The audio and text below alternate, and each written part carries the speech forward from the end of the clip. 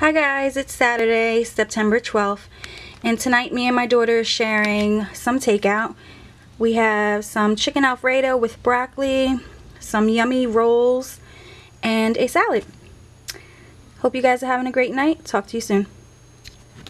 Hi guys, today's Sunday, September 13th, and today we are having a DiGiorno frozen pizza, Tuscan style chicken pizza has spinach and chicken with um, a salad. Hope you guys are having a great night and I will talk to you soon. Hi guys, it's Monday, September 14th. Tonight we're having kielbasa with spinach, tomatoes, and some noodles in a garlicky sauce with some garlic bread.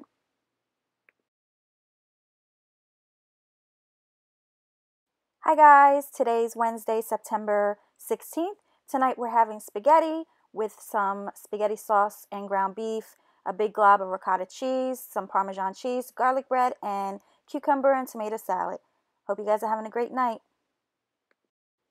Hi guys, today's Thursday, September 17th, and tonight we are having pierogies, and it's stuffed with mashed potatoes, some grilled chicken with stuffing on top,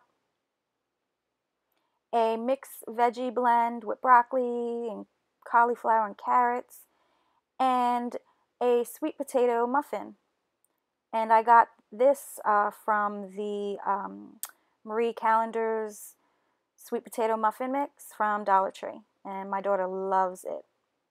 So, yeah, that's what we had for dinner. Hope you guys are having a great night, and I will talk to you soon. Bye.